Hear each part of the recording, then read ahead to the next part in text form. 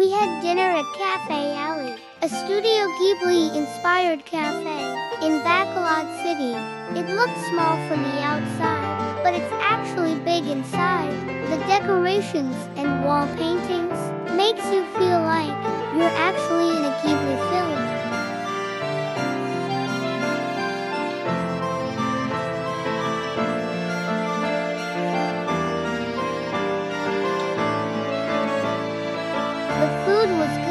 You should all come and try